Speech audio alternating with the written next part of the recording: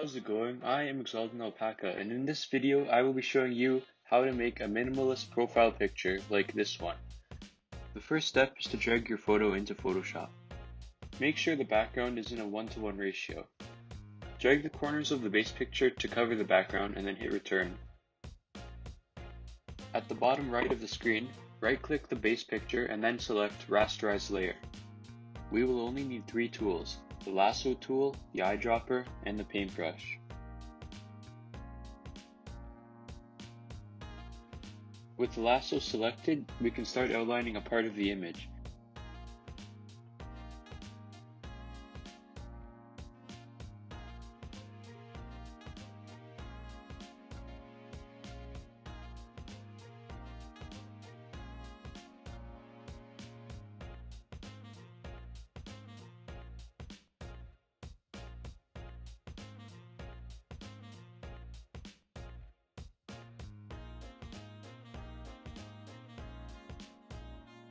Select the eyedropper and pick a color to represent the whole area that you just outlined.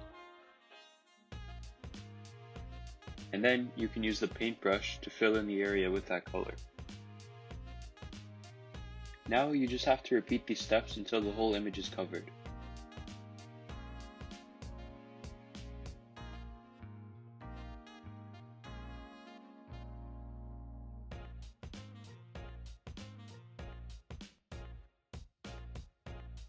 And here's the finished product. Um, I decided to reduce the number of outlined areas to make it look a bit more clean, but uh, again, it's up to you how detailed you want it to look. Thanks for watching. I hope this video helped, and if it did, uh, please leave a like and subscribe, and comment what you'd like to see in the future.